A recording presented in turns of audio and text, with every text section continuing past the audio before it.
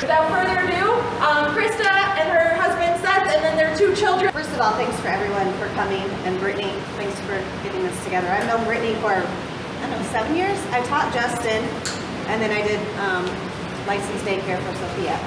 That's how I know her. Um, I'll make my story short, even though it's long. Um, in 2012, I was diagnosed with breast cancer. For a year, I went through chemo and radiation. Thought everything was good. Um, I was in the best shape of my life. I used to run a ton, did personal training. Um, and then in 2015, um, I had some chest pain, and it came back as um, lymph nodes that had cancer in it. And then from there, it went to the sternum, the um, pelvis, uh, hips, and then my spine recently. And I also, it also went to my brain. So I had 12 spots on my brain. I'm down to three. I did um, whole brain radiation. So it's, it's called metastatic breast cancer. It's something that's not curable. It's terminal. Um, I look well, but I'm not on the big hard drugs because we save those to the end. Um, so I just take day, uh, by day, just trying to prolong my life as long as I can with my kids and my husband. Uh, this is my husband, Seth that's my story, kind of just going day by day. Um, I recently stopped working, so it's been nice, kind of. uh, just to, to enjoy, I mean, go on field trips with my kids, which I haven't been able to do. Enjoy the little things. Um, that's it really. Thank you again so much for doing this. I wish I could work out with you, but I have blood clot in my leg and my feet are raw from the meds, so um, my husband will do a little bit.